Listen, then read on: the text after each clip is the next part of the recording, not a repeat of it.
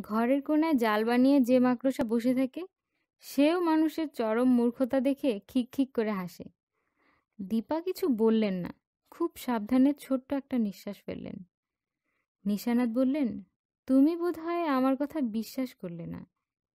দীপা হ্যাঁ না, কিছু বললেন না। দুঃখিত চোখে তাকিয়ে রইলেন। নিশানাথ বললেন, তোমার মনের ভেতর কি হচ্ছে আমি বলে দিই? তাহলে তুমি হয়তো আমার কথা বিশ্বাস করবে। দীপা বলল, বলুন। মাথার ভেতর ঢুকতে ইচ্ছা করে না। কেন করে না জানো? করে না কারণ এটা অন্যায়, এটা ঠিক নয়। কিছু না জানিয়ে হুট করে একটা মানুষের ঘরে ঢুকে পড়ার মতো। তাই না, মা? দীপা পুরোপুরি নিশ্চিত হলো মানুষটার মস্তিষ্ক বিকৃতির আর কিছু বাকি নেই। বেচারার সমস্ত শরীর কি কুৎসিতভাবেই না ফুলে উঠেছে। দেরি না করে তাকে কোনো বড় হাসপাতালে কিংবা ক্লিনিকে ভর্তি করিয়ে দেওয়া উচিত। দীপা? জি। আমার এই ক্ষমতা মানুষের কাজে লাগানো যায়। কীভাবে যায় জানো? কীভাবে? মানুষের ভেতর মন্দ যেসব ব্যাপার আছে, সেগুলি দূর করার জন্য আমি কাজ করতে পারি। মানুষ তো একজন দুজন নয়, লক্ষ লক্ষ, কোটি কোটি মানুষ। তাও ঠিক। তবে সব মন্দ মানুষকে ভালো বানানোর দরকার তো নেই। এমন সব মানুষদের ভালো করতে হবে, যাদের ওপর হাজার হাজার লক্ষ লক্ষ মানুষের ভাগ্য নির্ভর করে। যেমন ধরো রাষ্ট্রপ্রধান, দেশের বড় বড় নেতা। আপনি ঘুমান, চাচা। আমার মনে হয় আপনার ঘুম দরকার।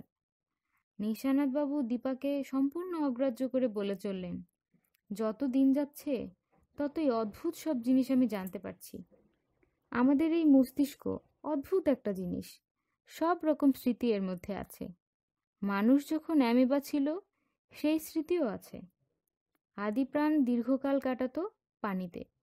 সেই পানির জগতে স্মৃতিও আছে মানুষের মাথায়। একসময় অ্যামিবার বিকাশ হলো সরীসৃপ হিসেবে, হিংস্র সরীসৃপ, মানুষের আদি পিতা। সেই সরীসৃপের স্মৃতিও সঞ্চিত রইল। মস্তিষ্ক কিছুই হারায় না। চাচা, আপনি ঘুমোবার চেষ্টা করুন। আমি তো বেশি দিন বাঁচব না, মা। যা আমি জেনেছি, সব তোমাকে বলে যেতে চাই। বুঝলে দীপা? আমাদের মাথায় আছে লক্ষ লক্ষ বছরের স্মৃতি। আমাদের মস্তিষ্কের একটা অংশ সরীসৃপের মতো চিন্তা করে। একটা অংশ জলজ জীবের মতো চিন্তা করে। একটা অংশ চাচা, আপনি ঘুমোতে চেষ্টা করেন। প্লিজ, চাচা। আচ্ছা মা আচ্ছা। তুমি যা বলবে তাই হবে। তুমি যা বলবে তাই হবে। নিশানাথবাবু থামলেন। তীব্র ভয় তাকে আচ্ছন্ন করে ফেলল। মাথা খারাপ হয়ে যাচ্ছে। নিশ্চয়ই তার মাথা খারাপ হয়ে যাচ্ছে। তিনি যা বলছেন সবই ভুল, সব ভুল। উত্তপ্ত মস্তিষ্কের কল্পনা। কিন্তু কল্পনা বলে তো মনে হয় না। না না না, কল্পনা নয়, সত্যি। যা ঘটছে সবই সত্যি। একটু পর পর মাথায় বিচিত্র সব ছবি আসছে, অদ্ভুত সব ছবি। তিনি বুঝতে পারছেন, ছবিগুলো কল্পনা নয়, স্বপ্ন নয় বিভ্রম নয়। সবই স্মৃতি, অতি প্রাচীন স্মৃতি। হাজার বছর, লক্ষ বছর কিংবা আরও আগের কোনো স্মৃতি। কোনো কিছুই হারায় না, জীবজগৎ তার মস্তিষ্কে সমস্ত স্মৃতি ধরে রাখে। কখন প্রাণের বিকাশ হয়েছিল, তিনি জানেন না। তার পড়াশোনা সীমিত, জ্ঞান সীমিত, বুদ্ধিও সীমিত। কিন্তু এখন তিনি অনেক কিছু বুঝতে পারছেন। কেউ যেন তাকে বুঝিয়ে দিচ্ছে, একসময় এই জগৎ ছিল প্রাণহীন। প্রাণহীন জগতে প্রাণের আবির্ভাব হলো। একটি যৌগিক অণু, প্রোটিন। সামান্য ক্ষুদ্র একটি অ্যামিনো অ্যাসিড, অথচ কি বিপুল তার সম্ভাবনা? একটা স্মৃতিধর অণু, কি রহস্য, কি অপার রহস্য? নিশানাথবাবু ছটফট করতে লাগলেন। সহ্য হচ্ছে না। তার আর সহ্য হচ্ছে না। তিনি ঘুমোতে চান। ঘুম, শান্তির ঘুম। যেন কত কাল তার ঘুম হয়নি। কত অনন্তকাল তিনি জেগে আছেন। তিনি ব্যাকুল স্বরে বললেন, দীপা মা, আমাকে ঘুম পাড়িয়ে দাও। ডাক্তার এসে পড়েছেন। দীপা ভয় পাওয়া গলায় বললেন, দেখুন তো ডাক্তার সাহেব, অনেকক্ষণ ধরে ছটফট করছেন। ডাক্তার রোগীর কপালে হাত রেখে চমকে উঠলেন। জ্বরে গা পুড়ে যাচ্ছে। শরীরের এই অস্বাভাবিক উত্তাপ দ্রুত কমানো প্রয়োজন। বরফ জলে গা ডুবিয়ে রাখতে হবে। এছাড়া অন্য কিছু তিনি এই মুহূর্তে ভাবতে পারছেন না। নিশানাথ চোখ মেললেন। খোলাটে চোখ। মনে হচ্ছে চারপাশের জগৎ তিনি চিনতে পারছেন না। ডাক্তার সাহেব বললেন, কেমন লাগছে? নিশানাথ ফিসফিস করে বললেন, ভালো লাগছে না, খুব খারাপ লাগছে। মাথায় যন্ত্রণা হচ্ছে। খুব বেশি যন্ত্রণা? হ্যাঁ খুব বেশি। মাঝে মাঝে আবার চোখেও দেখতে পাই না, সব ঝাপসা লাগে। ডাক্তার সাহেব বিস্মিত হয়ে বললেন, চোখে দেখতে পান না? জি না, সব সময় না, মাঝে মাঝে এরকম হয়।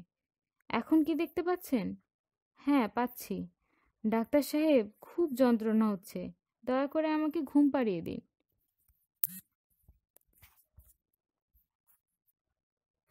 ডাক্তার সাহেব একটা প্যাথিড্রিন ইঞ্জেকশন দিলেন। প্রচুর বরফের ব্যবস্থা করতে বললেন। রোগীকে বরফ পানিতে ডুবিয়ে রাখতে হবে। এমন হাই ফিভার তিনি তার ডাক্তারি জীবনে কখনো দেখেননি। অবিশ্বাস্য ব্যাপার। বরফ চলে এলো। ডাক্তার সাহেবের সেই বরফ ব্যবহার করতে হলো না। তার আগেই রোগীর জ্বর কমে গেল। এটাও একটা অবিশ্বাস্য ব্যাপার। ডাক্তার সাহেব বললেন, রোগীকে এখানে রাখা ঠিক হবে না। হাসপাতালে ভর্তি করিয়ে দিন। দীপা বললেন, ওর কি হয়েছে? আমি ধরতে পারছি না। হাসপাতালে বড় বড় ডাক্তাররা আছেন, তারা হয়তো বুঝতে পারবেন। দীপা কি করবেন বুঝতে পারলেন না। নিশানাথবাবুকে হাসপাতালে পাঠাতে তার মন সরছে না। হাসপাতালে থেকে কি দেখবে? শরীরের এই অবস্থায় যতটুকু সেবা যত্ন দরকার, হাসপাতাল তার কতটুকু করবে? তার পক্ষে বেশি সময় দেওয়া সম্ভব নয়, তাছাড়া তিনি হাসপাতাল সহ্য করতে পারেন না। হাসপাতালে পা দিলেই বমি বমি ভাব হয়। বাসায় ফিরেও তা কাটতে চায় না। মহসিনের সঙ্গে পুরো ব্যাপারটা নিয়ে আলাপ করা দরকার। তাকে ইদানিং পাওয়াই যাচ্ছে না। কি নিয়ে যেন খুব ব্যস্ত। মাঝে মাঝে এমনও হয় বাড়ি ফিরতে পারে না। কোনো একটা সমস্যা নিশ্চয়ই হয়েছে। মহসিনের চিন্তিত মুখ দেখেই তা বোঝা যায়। ব্যবসা সংক্রান্ত কোনো জটিলতা হবে। দীপা প্রায়ই ভাবেন জিজ্ঞেস করবেন। জিজ্ঞেস করা হয়ে ওঠে না। মহসিনের ব্যবসার ব্যাপারে কোনো কৌতূহল দেখাতে তার ভালো লাগে না। আজ মহসিন সাহেব সন্ধ্যার আগেই ফিরলেন। তার মুখ শুকনো। তাকে খুব চিন্তিত মনে হচ্ছে। দীপা চায়ের কাপ নিয়ে যেতেই বললেন, আজ আমাকে সকাল সকাল ভাত দিতে পারবে? দীপা বললেন, কেন পারব না? কটার সময় ভাত চাও? এই ধরো সাতটা, সাড়ে সাতটা। কোথাও যাবে? হুম। দীপা পাশেই দাঁড়িয়ে আছেন। অথচ মহসিন তাকে ঠিক লক্ষ্য করছেন বলে মনে হচ্ছে না। কেমন যেন অন্য মনস্ক দীপা, বলো, আজ আমি বাসায় নাও ফিরতে পারি। যদি দেখো এগারোটার মধ্যে ফিরছি না, তাহলে দারোয়ানকে গেট বন্ধ করে দিতে বলবে। আচ্ছা। মহসিন চায়ের কাপে চুমুক দিতে দিতে হালকা গলায় বললেন, তোমার ডাক্তার বোন এবারই তো অনেক দিন আসে না। ব্যাপার কি বলো তো? ব্যাপার আবার কি? নিশ্চয়ই কাজ নিয়ে ব্যস্ত। কোনো কিছু নিয়ে রাগ টাগ করেনি তো? দীপা বিস্মিত হয়ে বললেন, রাগ করবে কেন? ট্রিনা রাগ করার মতো মেয়ে না। তার মধ্যে এসব ক্ষুদ্রতা নেই। হঠাৎ ট্রিনার কথা উঠল কেন? এমনি। অনেকদিন ওকে দেখি না।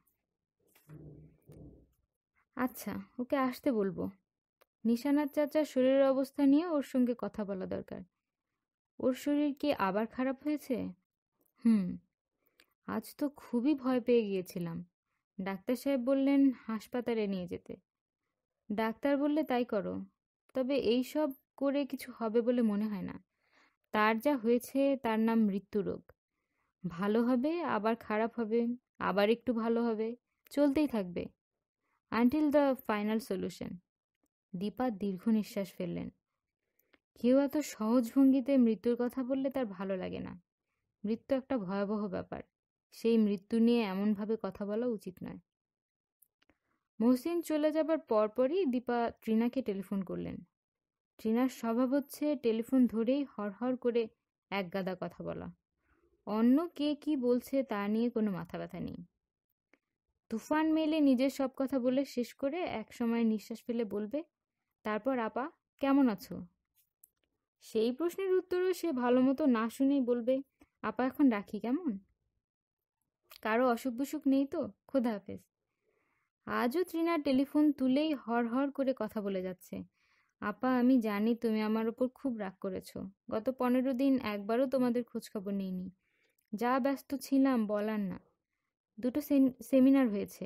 একটা এপিলেপসির ওপর, অন্যটা সাইকাডেলিক ড্রাগ দুটাই খুব ইন্টারেস্টিং সেমিনার। এত ইন্টারেস্টিং হবে জানলে তোমাকে জোর করে নিয়ে যেতাম। এক আমেরিকান প্রফেসর এসেছিলেন। প্রায় সত্তরের মতো বয়স, প্রফেসর বার্ন। আমাকে কি বললেন জানো?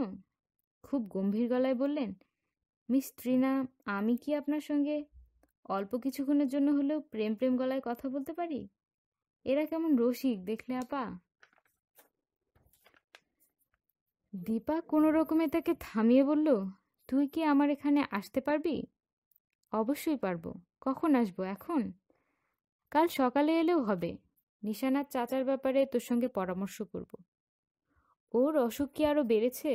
হুম, কি সব আজে বাজে কথা বলে? মানুষের মনের কথা বুঝতে পারে, জীবজন্তুর কথা বুঝতে পারে।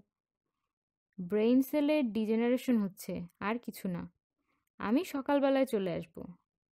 তবে আমাকে দিয়ে কিছু হবে না পা আমি হচ্ছি ছোট ডাক্তার। হাতের কাছের ডাক্তার সবসময়ই ছোট। যে ডাক্তার অনেক দূরে, তাকেই মনে হয় অনেক বড়। মাঝে মাঝে তুমি ফিলোসফির টিচারের মতো কথা বলো, আপা। ফিলোসফির টিচাররা এমন করে কথা বলে? তা তো জানতাম না। আমি তাহলে রাখি, আপা। খুদা হাফেজ। দুলাভাই ভালো আছেন তো? হুম, ও ভালোই আছে। ও আজ তোর কথা বলছিল। কি বলছিলেন? অনেক দিন তোর সঙ্গে দেখা হয় না। তুই রাগ করেছিস কি না এইসব ত্রিনা বিস্মিত গলায় বলল, গতকালই তো দুলাভাইয়ের সঙ্গে দেখা হলো। রোববারেও দেখা হয়েছে। তাই নাকি? তাহলে হয়তো ভুলে গেছে। দুলাভাইকে একটু দাও তো, কথা বলি। ও বাসায় নেই। কখন ফিরবেন? আজ রাত এগারোটার দিকে ফিরতে পারে। আবার নাও ফিরতে পারে। নাও ফিরতে পারে মানে? রাতে কোথায় থাকবেন? তা তো জানি না। ব্যবসা ট্যাবসা নিয়ে কী সব সমস্যা যাচ্ছে? ত্রিনা গম্ভীর গলায় বলল, দুলাভাই যদি এগারোটার মধ্যে ফেরেন, তাহলে বলবে আমাকে টেলিফোন করতে। আচ্ছা কাল তোমার সঙ্গে দেখা হবে, আপা। খুদা হাফেজ। মুহসিন রাত এগারোটার মধ্যে ফিরলেন না। দারোয়ানকে গেটে তালা লাগিয়ে দিতে বলে দীপা শেষবারের মতো নিশানাথ বাপুর খোঁজ নিতে গেল। নিশানাথ চাদর গায়ে দিব্যি ভালো মানুষের মতো বসে আছেন। হাতে স্যুপের বাটি। চামচ দিয়ে স্যুপ তুলে মুখে দিচ্ছেন। তাকে দেখে মনে হচ্ছে খুব আনন্দে আছেন। চাচা, শরীরটা কি এখন ভালো লাগছে? হ্যাঁ মা। তবে ঘুম ঘুম ভাব এখনও আছে। স্যুপ খেয়ে আবার শুয়ে পড়ব। সলিড কিছু খাবেন? ভাত, মাছ? খুব ভালো পাঙ্গাস মাছ ছিল। না, মা, দাঁত তো নেই।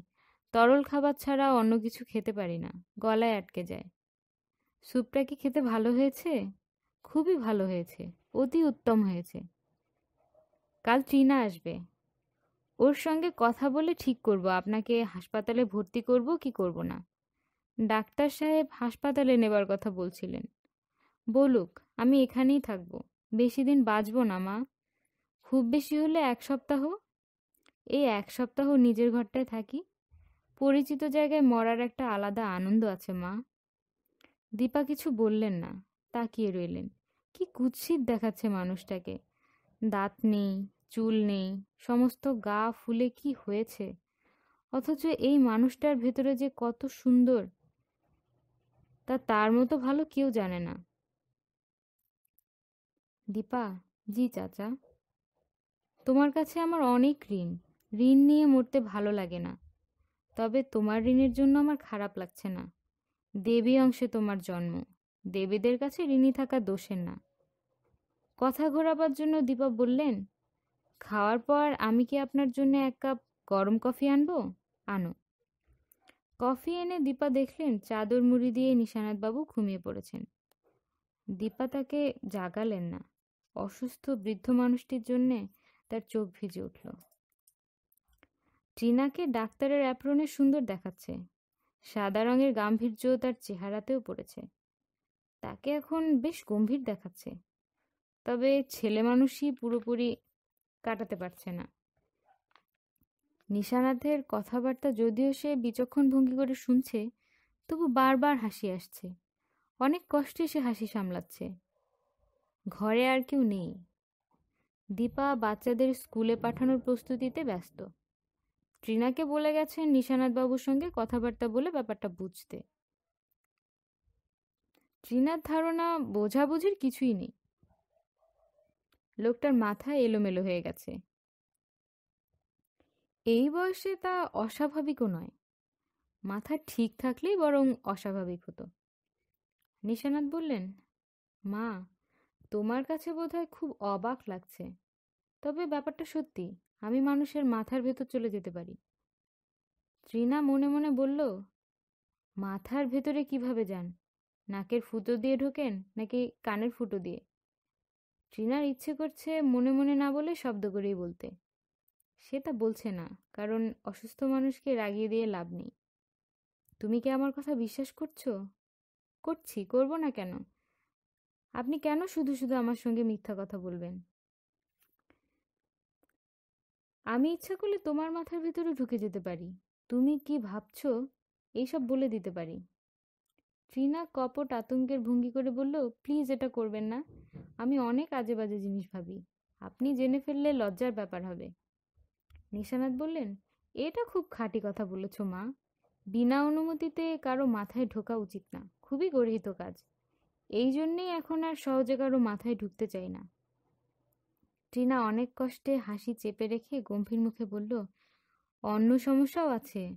হয়তো কারও মাথায় ঢুকলেন, তারপর আর বেরোতে পারলেন না। সারা জীবনের জন্য আটকে থাকতে হলো। কি অদ্ভুত অবস্থা। আপনার শরীরটা চাদর গায়ে দিয়ে বিছানায় শুয়ে আছে, আর আপনি আটকা পড়ে আছেন অন্য একজনের মাথায়। হতে পারে না এরকম? নিশানাথবাবু ভ্রু কুচকে তাকালেন। তার মনে হলো, এই চমৎকার মেয়েটা তাকে নিয়ে মজা করার চেষ্টা করছে। তার মনটাই খারাপ হয়ে গেল। একবার ইচ্ছা করল মেয়েটার মাথায় ঢুকে গোপন কিছু তথ্য জেনে নিয়ে মেয়েটাকে চমকে দেবেন। পর মুহূর্তেই চিন্তাটা বাতিল করে দিলেন। এটা উচিত না, খুবই গর্হিত কাজ। ট্রিনা বলল, মানুষের মাথায় ঢোকা ছাড়া আর কিছু কি পারেন? খুব ভালো চিন্তা করতে পারি। যেমন অঙ্ক মানুষাঙ্ক চট করে করে ফেলতে পারি। বড় বড় ভাগ, গুণ, বর্গমূল, খাতা, পেন্সিল কিছুই লাগে না। বাহ, খুব মজা তো।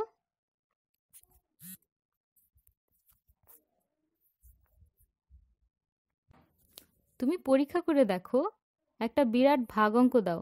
দেখো কেমন চট করে উত্তর বলে দেব। আপনাকে কষ্ট করতে হবে না।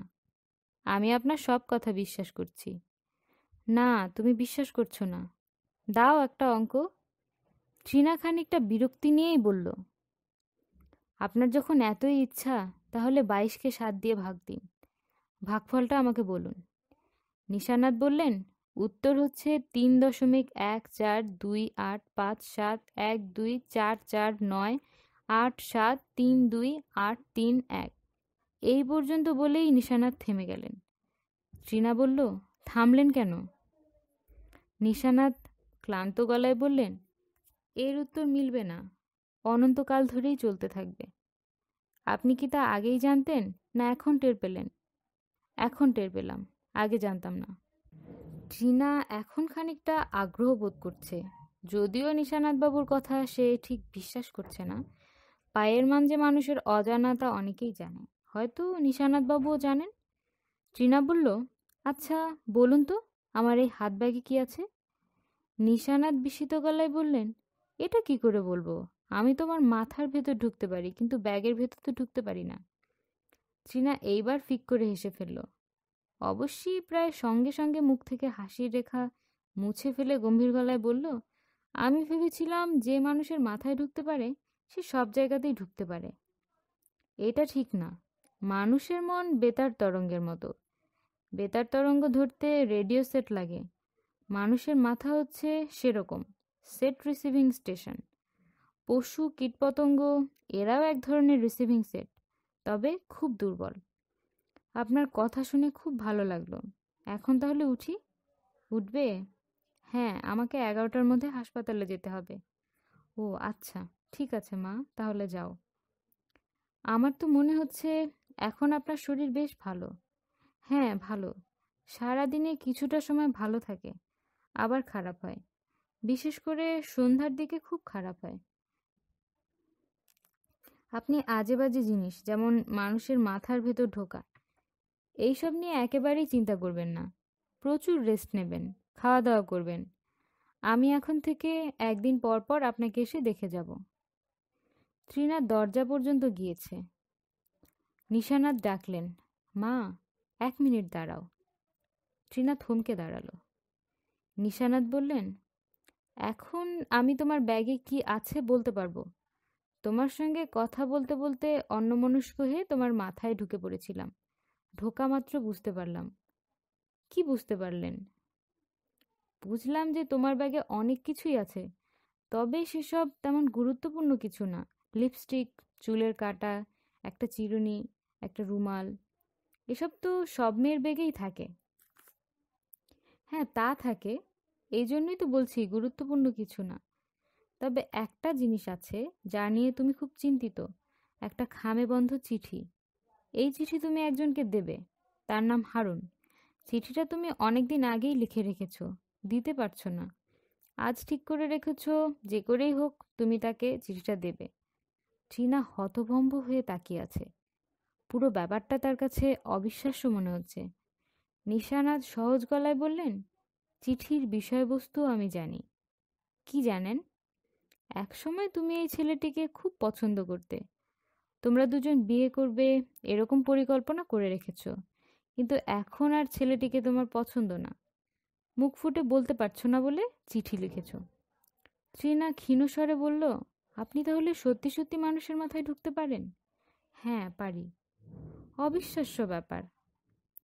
নিশানা দুঃখিত গলায় বললেন, মানুষের মাথায় ঢোকার ব্যাপারটা অন্যায়, খুবই অন্যায়, খুবই গর্হিত কাজ। তুমি কিছু মনে করো না ত্রিনা না, আমি কিছু মনে করিনি। আমি এখনও বিশ্বাস করতে পারছি না। যদিও জানি আপনার ক্ষমতাটা সত্যি, এর মধ্যে কোনো ভুল নেই। আমি আর একটু বসি আপনার সঙ্গে? বসো। আপনার খবর প্রকাশিত হলে মেডিকেল সায়েন্সের জগতে কীরকম হইচই শুরু হয়ে যাবে সেটা কি আপনি জানেন? না, জানি না। ট্রিনা কাপা গলায় বলল, এই দেখুন, আমার গা কাঁপছে। আচ্ছা আপনি শুরু থেকে বলুন তো, কখন আপনি আপনার এই ক্ষমতার কথা বুঝতে পারলেন? নিশানার জবাব দিলেন না। তার মাথায় তীব্র যন্ত্রণা আবার শুরু হয়েছে। চারপাশের জগৎ ঘোলাটে হয়ে আসতে শুরু করেছে। তিনি দুর্বল স্বরে বললেন, মা, তুমি এখন যাও। আমার পুরো ব্যাপারটা জানতে ইচ্ছা করছে। না জেনে আমি যেতে পারব না। নিশানাথ হাঁপাতে হাঁপাতে বললেন, সব তোমাকে বলব। এখন না, এখন পারব না। তোমাকে আমি খবর দেব। আমি নিজে নিজে চিন্তা করে অনেক কিছু বের করেছি, সেসবও তোমাকে বলব। আজ না, অন্য একদিন।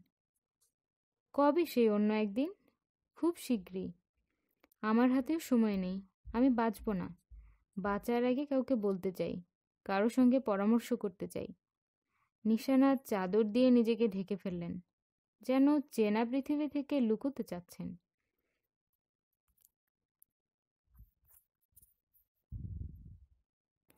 ট্রিনা দীপার খোঁজে রান্নাঘরে ঢুকেছে। দীপা পরিস তৈরি করছেন। নিশানাথবাবু সকালের নাস্তা। সকালে চালের আটার রুটি করে দিয়েছিলেন, খেতে পারেননি। পরিস খেতে পারেন। ট্রিনা দীপার পাশে এসে দাঁড়ায়। দীপা বোনের দিকে তাকিয়ে বিস্মিত গলায় বললেন, তোর কি হয়েছে? কিছু হয়নি তো? তোকে এমন দেখাচ্ছে কেন? জানি না। আপা, আমাকে এক কাপ চা করে দাও। তুই হাসপাতালে যাবি না? বুঝতে পারছি না, হয়তো যাব না। রুগী কেমন দেখলি? ট্রিনা জবাব দিল না। তার কথা বলতে ভালো লাগছে না। দীপা বললেন, তোর কি শরীর খারাপ লাগছে? হ্যাঁ শরীর খারাপ লাগলে উপরে গিয়ে শুয়ে থাক। দুলাভাই কি বাসায় আছেন, আপা? না, ও কাল রাতে বাড়ি ফেরেনি। কখন ফিরবেন? জানি না। ট্রিনা রান্নাঘর থেকে বেরুলো। অন্যমনস্ক ভঙ্গিতে কিছুক্ষণ বারান্দায় হাঁটল। তারপর উঠে গেল দোতলায়। কিছুক্ষণ শুয়ে থাকবে। শরীর ভালো লাগছে না। একটু আগে চায়ের তৃষ্ণা হচ্ছিল। এখন তাও হচ্ছে না। আলো তার শোবার ঘরের অন্ধকার কোণে একটা বই নিয়ে বসে আছে। তার সমস্ত ইন্দ্রিয় বইটিতে কেন্দ্রীভূত। ত্রিনা ঘরে ঢুকে এই দৃশ্য দেখল। খানিক্ষণ ইতস্তত করে সে এগিয়ে গেল। আলো ছোট খেলাকে দেখে জড়সড় হয়ে গেল। ছোট ছোট করে শ্বাস নিচ্ছে, দ্রুত চোখের পাতা ফেলছে। সে কি ভয় পেয়েছে? ট্রিনা নরম গলায় বলল, কেমন আছো? আলো